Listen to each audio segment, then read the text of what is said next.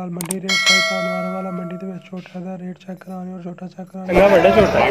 ਤੇ ਇਸ ਵਾਰ ਵੀਡੀਓ ਬਣਾ ਰਹੇ ਹਾਂ। ਇਹਦੀ ਕੀ ਡਿਮਾਂਡ ਕਰਦੇ? ਮੈਂ ਕਿਹਾ ਚਾਚਾ ਜੀ ਦੀ ਕੀ ਡਿਮਾਂਡ ਕਰਦੇ ਜੀ? ਹਾਂਜੀ। 6 ਲੱਖ ਤੱਕ।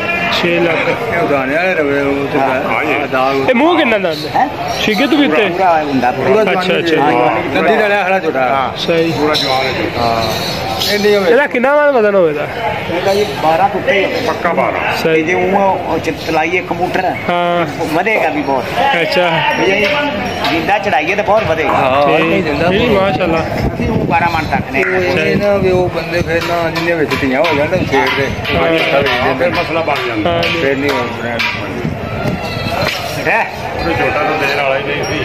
ਪਰ ਰੱਖੀ ਵਾਲਾ। ਉਹਦੇ ਬਾਅਦ ਮਜ਼ਦੂਰੀ ਵੀ ਨਤੀਜਾ ਹੋ ਗਈਆਂ। ਹਾਂ। ਉਹਦੇ ਆਸੇ ਨਹੀਂ ਬਾਤ